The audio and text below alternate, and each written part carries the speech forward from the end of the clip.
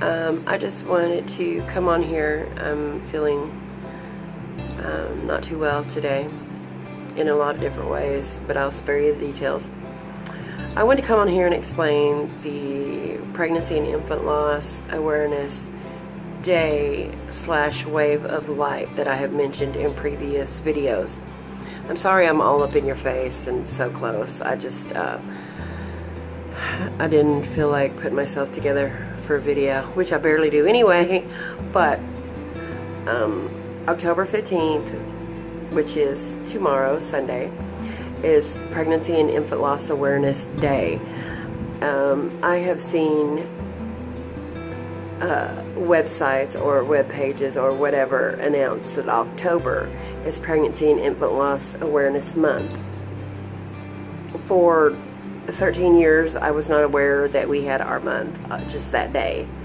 So unless they have changed that, and I have heard nothing of it because they do different presidents, different um, organizations uh, get things passed. Uh, for example, when Andrew was uh, stillborn in 04, I got a death certificate. And now in the state of Texas, uh, you get a birth certificate. And it just states that the child was born deceased, but it is a birth certificate, not a death certificate. Um, you know, so different lawmakers get different things passed. So I don't, I'm not aware if that's changed, but the 15th uh, is Pregnancy and Infant Loss Awareness Day.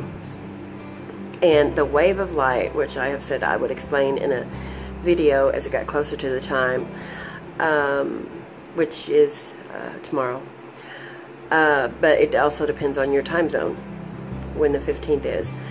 Uh, if you've been touched in any way by child loss, being you've lost a child, you've lost a grandchild, um, a cousin, niece, nephew, even if you have not personally been touched by child loss or infant loss. Um,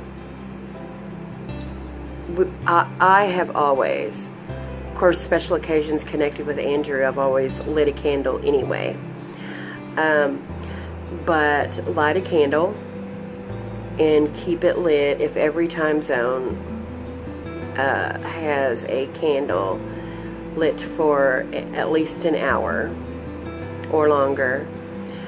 Um, it would be a continuous wave, sorry, wave of light. Um, meaning there would be a candle lit for every lost child in every time zone. There'd be some, there'd be one lit. I will sit on, but you know what I'm talking about. Um, so it's a symbolic type thing as well as um, I know a lot of people um, light candles when they pray. Um, special occasions, like I had mentioned, um, like the day that Andrew passed, and then I delivered him 10 days later. His story, as uh, if you go into the playlist, there's part one and part two, uh, which I tell about it but he was delivered 10 days later. So he has a date of death and a date of delivery, which is his birth date slash angel day.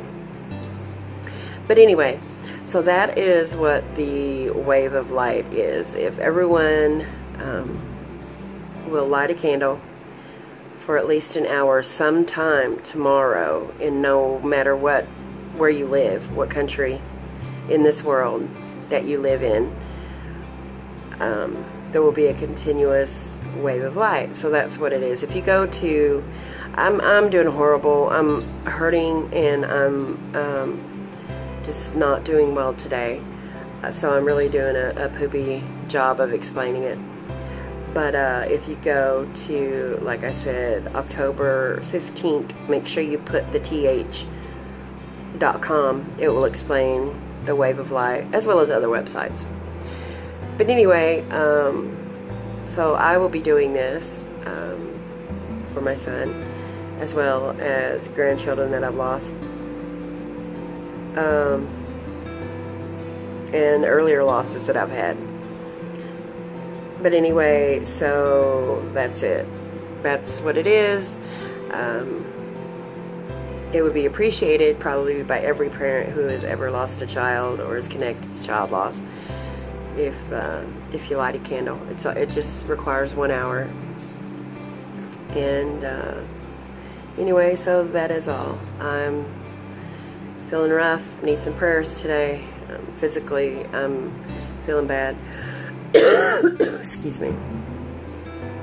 It's uh, heart related, congestive heart failure related, and it could be my lung. I have sarcoidosis as well, so I've got a whole lot of stuff, and um, I don't want to go to the doctor. I don't want to go to the doctor. Um, so I'm just gonna stay in bed all day and watch movies. Because Roku now, wait, this has nothing to do with the video, so they have their own channel. That's all I gotta say. Okay, um, so anyway, I said I would put out a uh, video explaining it, and I did, and I did a poor job, and I apologize. I'm very scattered at the moment because I'm just not feeling it. But anyway, um, God bless you guys, and talk to you soon.